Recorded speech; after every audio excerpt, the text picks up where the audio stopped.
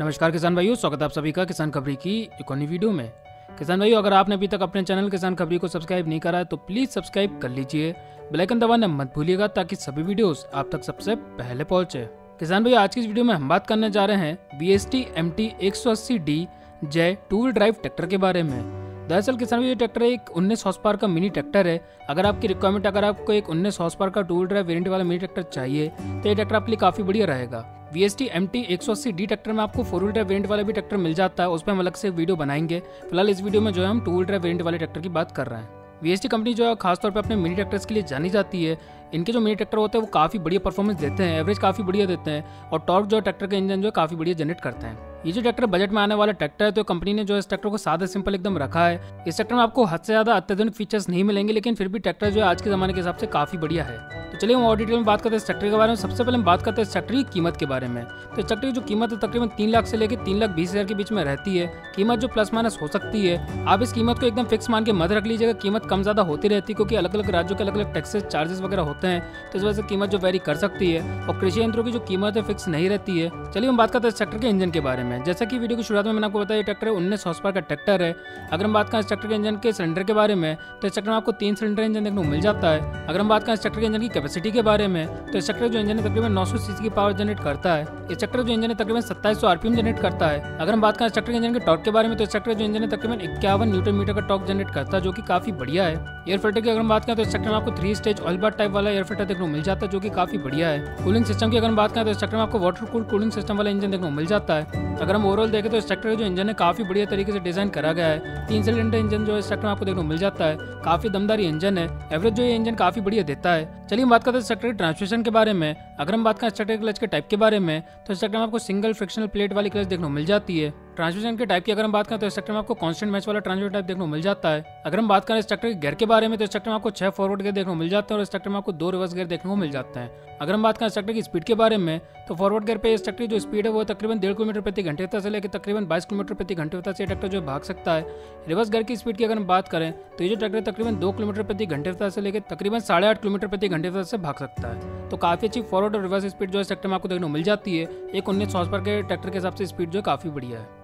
चलिए बात करें इस ट्रैक्टर के ब्रेकिंग सिस्टम के बारे में। तो इस ट्रैक्टर में जो है आपको water proof internal expanding shoe type brake देखने को मिल जाते हैं और इस ट्रैक्टर में आपको पार्किंग ब्रेक भी देखने को मिल जाते हैं। तो काफ़ी बढ़िया ब्रेकिंग सिस्टम जो इस ट्रैक्टर में दिया गया है। ब्रेकिंग सिस्टम जो वाटर प्रूफ है तो आपको बरसात वगैरह के समय में समस्या नहीं आएगी। अगर हम बात करें इस ट्रैक्टर की टर्निंग रेडियस के बारे में तो विथ ब्रेक जो स्ट्रक्टर की टर्निंग रेडियस है, वो तकरीबन दो दशमलव एक मीटर और बिना ब्रेक की जो स्ट्रक्टर की टर्निंग रेडियस है, वो तकरीबन ढाई मीटर। तो काफ़ी कम टर्निंग रेडियस जो स्ट्रक्टर में आपको देखने को मिल जाती है। अगर हम बात करें स्ट्रक्टर मैक्सिमम लिफ्टिंग कैपेसिटी के बारे में तो वो तकरीबन साढ़े सात सौ किलोग्राम। तो काफ़ी बड़ी लिफ्टिंग कैपेसिटी जो स्ट्रक्टर में आपको देखने को मिल जाती है। अगर आप स्ट्रक्टर का वज़न देखें, वो तकरीबन छह सौ पैंतालीस किलोग्राम और स्ट्रक्टर जो लिफ्टिंग कैपेसिटी वो तकरीबन साढ़े सात सौ किलोग्राम। तो काफ़ी बड़ी लिफ्टिंग कैपेसिटी जो स्ट्रक्टर में आपको देखने को मिल जाती है। इस स्ट्रक्टर में आपको थ्री पॉइंट लिंकेज वाली लिफ्ट देखने को मिल जाती है, जिसमें आपको automatic depth and draft control वाला सिस्टम भी देखने को मिल जाता है, जो कि काफ़ी बढ़िया होता है। चलिए बात करते हैं ट्रैक्टर के स्टेरिंग के टाइप के बारे में। तो ट्रैक्टर में आपको मैकेनिकल स्टेरिंग देखने को मिल जाता है। इस ट्रैक्टर में आपको पावर स्टेरिंग का ऑप्शन नहीं मिलता है, क्योंकि ये एक उन्नीस हॉर्स का टू व्हीलर वेरियंट वाला ट्रैक्टर है और ये ट्रैक्टर जो आपको बजट में मिलता है तो इस वजह से इस ट्रैक्टर में केवल केवल आपको मैकेनिकल स्टेरिंग मिलेगा, इसमें आपको पावर स्टेरिंग नहीं मिलेगा। चलिए बात करते हैं ट्रैक्टर फिटिंग की कैपेसिटी के बारे में। तो वो तकरीबन अठारह लीटर काफ़ी बढ़िया फिल्टरिंग कैपेसिटी जो इस ट्रैक्टर में आपको देखने को मिल जाती है। एवरेज जो इस ट्रैक्टर काफ़ी बढ़िया है, काफ़ी कम खपत जो डीजल की इसमें होती है। चलिए हम बात करते हैं ट्रैक्टर पीटीओ के बारे में। अगर हम बात करें ट्रैक्टर पीटीओ के टाइप के बारे में तो इस ट्रैक्टर में आपको सिक्स प्लेन शाफ्ट वाला पीटीओ टाइप देखने को मिल जाता है, जो कि काफ़ी बढ़िया है। अगर हम बात करें ट्रैक्टर पीटो के आरपीएम के बारे में तो इस ट्रैक्टर में आपको डुअल स्पीड पीटीओ देखने को मिल जाता है। इस ट्रैक्टर जो पीटीओ तकरीबन छह सौ तेईस आरपीएम जनरेट करता है और नौ सौ उन्नीस आरपीएम जनरेट करता है। जब इंजन रेटेड आरपीएम जो सत्ताईस तो काफ़ी बड़ी आरपीएम जो ट्रैक्टर इंजन जनरेट करता है। अगर हम बात करें स्ट्रक्टर पीटी के हॉस्पार के बारे में तो चक्र जो पीटी तकरीबन तेरह हॉस्पार की पावर जनरेट करता है, जो कि काफ़ी बढ़िया है। इस चक्र पीटी की मदद से आप छोटे साइज़ के rotavator chaff cutter spraying machine जैसे कई सारे छोटे जो पीटीओ से चलने वाले उपकरण काफ़ी आसानी से चला सकते हैं ट्रैक्टर जो काफ़ी बड़ी परफॉर्मेंस देता है। चलिए बात करते हैं स्ट्रक्टर टायर के साइज़ के बारे में। अगर हम बात करें स्ट्रक्टर फ्रंट टायर के साइज़ के बारे में तो स्ट्रक्टर जो फ्रंट टायर का साइज़ है, वो पाँच दशमलव दो इंटू चौदह का इसमें आपको फ्रंट टायर साइज़ देखने को मिल जाता है। अगर हम बात करें स्ट्रक्टर पिछले टायर के साइज़ के बारे में तो स्ट्रक्टर में आपको आठ इंटू अठारह का पिछला टायर साइज़ देखने को मिल जाता है। तो काफ़ी बढ़िया टायर साइज़ जो स्ट्रक्टर में दिया गया है। चलिए हम बात करते हैं स्ट्रक्टर डायमेंशन वेट के बारे में। अगर हम बात करें स्ट्रक्टर टोटल वज़न के बारे में तो वो तकरीबन साढ़े छः सौ किलोग्राम। ओवरऑल लंबाई की अगर हम बात करें, वो तकरीबन दो हज़ार पाँच सौ पैंसठ एम एम ओवरऑल चौड़ाई की अगर हम बात करें, वो तकरीबन एक हज़ार पच्चीस एम एम ओवरऑल हाइट की अगर बात करें, वो तकरीबन चौदह सौ पचहत्तर एम एम ग्राउंड क्लियरेंस की अगर बात करें, वो तकरीबन 190 एम व्हील बेस की अगर बात करें, वो तकरीबन 1422 mm तो ओवरऑल अगर आप इस ट्रैक्टर का साइज़ देखें तो काफ़ी कॉम्पैक्ट साइज़ जो इस ट्रैक्टर का दिया गया है तो अगर आप इस ट्रैक्टर को विनयार्ड के काम के हिसाब से ऑर्चर्ड के काम के हिसाब से अगर यूज़ करना चाहते हैं तो ये ट्रैक्टर आपके लिए काफ़ी बढ़िया रहेगा। फ़िलहाल इस ट्रैक्टर को आप पडलिंग वगैरह काम के हिसाब से यूज़ नहीं कर सकते, क्योंकि एक टू व्हील ड्राइव वेरियंट वाला ट्रैक्टर है, उन्नीस पावर का ट्रैक्टर है, छोटा ट्रैक्टर है, ज़्यादा बड़ा ट्रैक्टर नहीं है तो पडलिंग वगैरह जैसे काम के हिसाब से ज़्यादा अच्छी परफॉर्मेंस नहीं दे पाएगा। छोटे मोटे हलक के काम के हिसाब से स्प्रिंग मशीन के काम के हिसाब से रोटोवेटर के काम के हिसाब से ट्रैक्टर जो काफ़ी बढ़िया है। इस ट्रैक्टर जो इंजन काफ़ी बढ़िया तरीके से डिज़ाइन करा गया है। एवरेज जो इस ट्रैक्टर का इंजन काफ़ी बढ़िया देता है। अगर आपका बजट कम है, अगर आपकी रिक्वायरमेंट अगर आपको एक छोटा मिनी ट्रैक्टर चाहिए तो ये ट्रैक्टर आपके लिए काफ़ी बढ़िया रहेगा।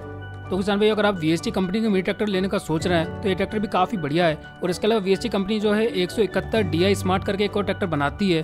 उसमें आपको आठ फॉरवर्ड दो रोज़गार देखने को मिल जाते हैं। वो भी काफ़ी बढ़िया ट्रैक्टर है, काफ़ी अच्छी परफॉर्मेंस देता है। तो आप दोनों में से कंपेयर कर लीजिएगा, जो भी ट्रैक्टर आपको बेहतर लगे, जो भी ट्रैक्टर आपको सस्ता मिले, आप वो ट्रैक्टर ले लीजिएगा। फ़िलहाल किसान भाई, ये थी जानकारी V S T Shakti M T एक सौ अस्सी डी जेड ट्रैक्टर के बारे में। अगर आपकी रिक्वायरमेंट है तो आप इस ट्रैक्टर को बेफिक्र होकर ले सकते हैं। उम्मीद करता हूँ जानकारी आपको पसंद आई होगी। अगर जानकारी आपको पसंद आई है तो आप इस वीडियो को लाइक करना मत भूलिएगा। अगर आपने अभी तक अपने चैनल किसान कभी को सब्सक्राइब नहीं करा है तो प्लीज़ सब्सक्राइब कर लीजिए बेल आइकन दबाना मत भूलिएगा। और किसान भाई, हमने बाकी मीट ट्रैक्टर्स पे भी ऑलरेडी वीडियो बना रखे हैं तो आप अपने चैनल किसान खबरी पे जाकर ज़रूर देखिएगा। तो फ़िलहाल किसान भाई, इस वीडियो में इतना ही। फिर मिलते अगली वीडियो के साथ। तब तक के लिए नमस्कार।